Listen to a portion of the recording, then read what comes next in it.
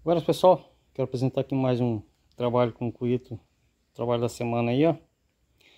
As faquinhas confeccionadas aí, feita de algumas aí de mola de fusca, pessoal. Aqui a primeira de cima aqui, vamos começar por ela aqui. Aqui é um facãozinho, tá pessoal? Facãozinho de 43, 44 centímetros total, 32 de lâmina aí, tá? Ele tem 3 mm de espessura, tá? 2.9 de largura feito de mola de fusca, tá pessoal? A madeira aí é guaritá, tem um pino mosaico no meio aí, olha que bonito.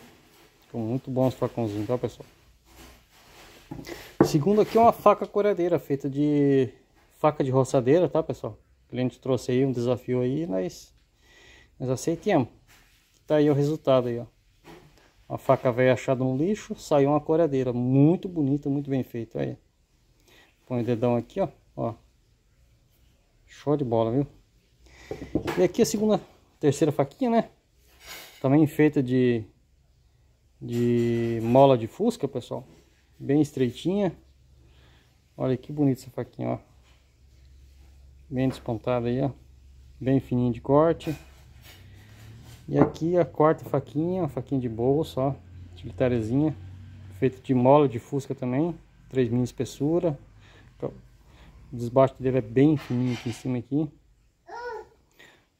Olha que legal essa faquinha, pessoal. Olha que bonito ficou. Acabamento escovado, todas elas, né? Só essa aqui que é espelhada, a poreadeira, e essa aqui acabamento escovado. Beleza, pessoal? Mais informações, encomenda, chama nós aí no privado. Beleza? Muito obrigado.